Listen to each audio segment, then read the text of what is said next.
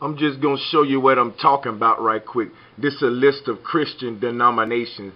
This just to give you an idea of how many different denominations of Christianity is. And everybody get on Facebook talking about we got it right. No, we got it right. We got it right. Now, all of them come from Catholicism, every last Christian church. And if anybody say I'm wrong about that, you know they don't know what they talking about. Go and ask anybody. Ask your bishop. Ask your bishop. Now look here.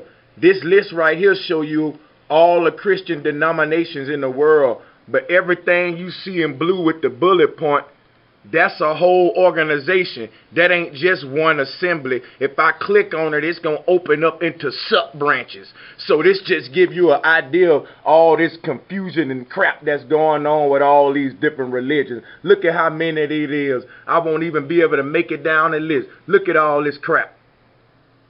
800 million just in pro, Protestantism. 800 million. If you're a Baptist or you all of that, that means you Protestantism. It's 800 million different of y'all. Now you can just keep going down all this crap. Look it up. It'll take you about two days to get down the whole doggone list.